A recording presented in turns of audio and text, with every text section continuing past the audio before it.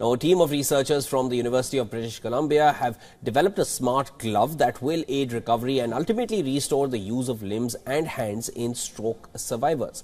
So, how does the glove really work? Well, the glove has a sophisticated network of highly sensitive sensor yarns and pressure sensors that are woven into a stretchy fabric, enabling it to track, capture and wirelessly transmit even the smallest hand and finger movements.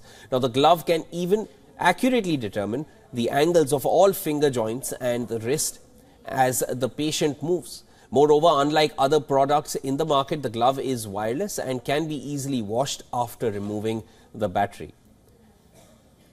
Researchers claim the glove can detect small stretches and predict movement with 99% accuracy, matching the performance of costly motion capture cameras.